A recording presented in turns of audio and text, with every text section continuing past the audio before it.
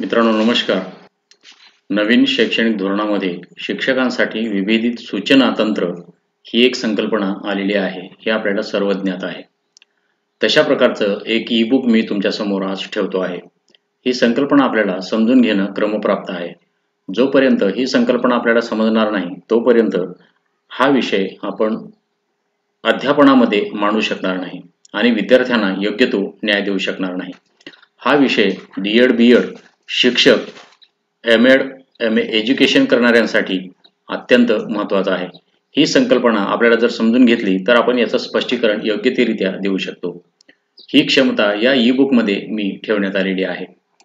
नवीन शैक्षणिक धोरणात ही संकल्पना जरी प्रभावीपणे मांडण्यात आलेली आहे तरी तिचं स्पष्टीकरण मात्र आपल्याला अजूनपर्यंत उपलब्ध झालेलं नाही. पण या ई बुकच्या माध्यमातून मात्र मी तुमच्यासमोर ठेवतो आहे. सूचना देताना आपण त्या चुकीच्या कशा देतो यावर आपण विचार करत नाही आणि तो करणं क्रमप्राप्त आहे.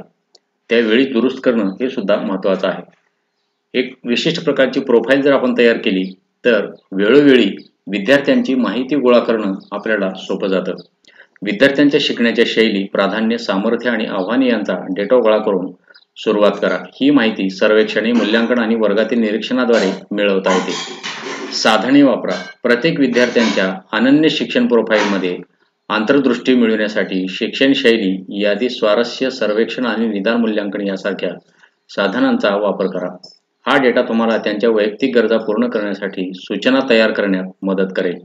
लवचिक गट तत्परतेवर आधारित गट अशा विविध संकल्पना या ई बुकमध्ये मी स्पष्ट केलेल्या आहेत. त्याची स्ट्रॅटेजी काय आहे? ग्रुपिंग करणं का महत्त्वाचं आहे? ग्रुपिंगचे फायदे आणि तोटे काय आहेत? हे आपण समजून घेऊया. विविधता प्रदान करणं हे का आवश्यक आहे?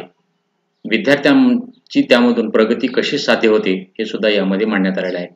विद्यार्थ्यांसाठी निवड गती सुधारणं आणि स्टॅक फोल्डेड कार्य मूल्यांकन विविधता पर्यायी आणि विविध पर्याय या व्यतिरिक्त ज्या वेबसाईट आपल्याला अत्यंत महत्त्वाच्या आहेत या सुद्धा वेबसाईट या ईबुकच्या माध्यमातून मी तुमच्यासमोर ठेवलेली आहे हे ईबुक तुम्हाला व्हिडिओच्या डिस्क्रिप्शनमध्ये डाउनलोड करून घेता येईल.